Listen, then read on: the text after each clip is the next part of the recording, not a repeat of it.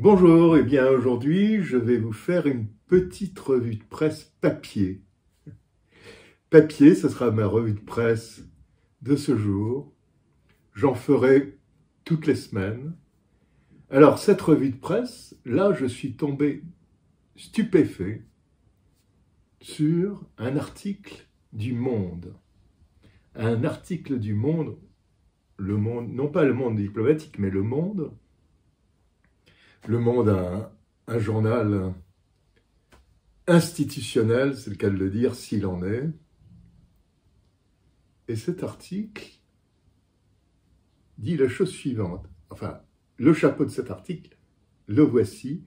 Pourquoi la contre-offensive ukrainienne est un échec? Oui. Et cet article reprend tout ce que M.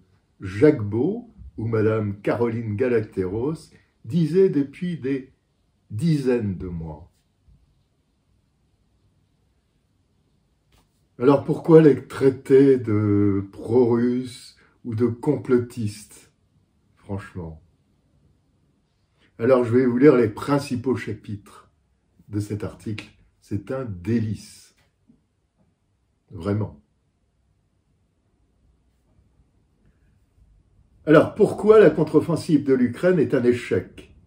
Engagée depuis le 4 juin dans les opérations pour percer les lignes russes, l'armée ukrainienne ne progresse plus. Les forces de Moscou, capables de mobiliser plus d'hommes et de matériel, ont repris l'initiative en lançant des assauts d'envergure depuis le 10 octobre. 150 jours après le lancement de la contre-offensive ukrainienne dans le sud du pays, les militaires et les analystes occidentaux font le même constat amer. L'armée de Kiev n'a que très peu progressé et surtout n'avance plus. On dit même que l'armée de Kiev n'a avancé que de 90 mètres par jour.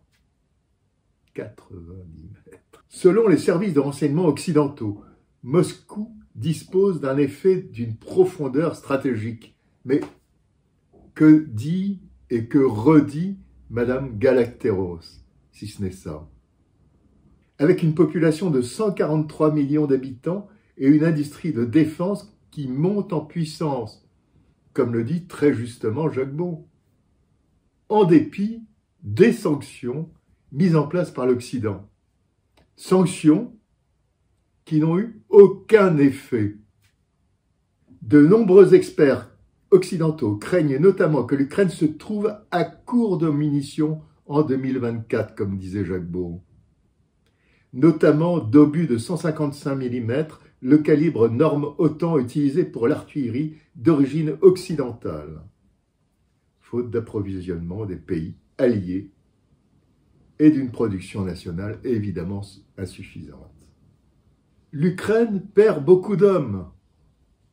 Dans le texte, L'Ukraine perd beaucoup d'hommes. L'autre inquiétude porte sur la capacité de l'Ukraine à régénérer ses troupes. L'état de ces pertes est, le secret le mieux gardé de la guerre.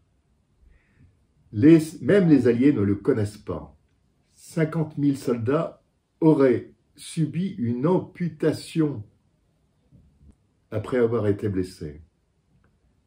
L'Ukraine perd beaucoup d'hommes notamment parmi ses vétérans, et va avoir de plus en plus de mal à reconstituer ses brigades, craint un officier français qui fait régulièrement les allers-retours entre Kiev et Paris. Elle a perdu beaucoup de personnel, entre 390 000 et 500 000 tués. Eh bien voilà. Bon. C'est incroyable. Hein.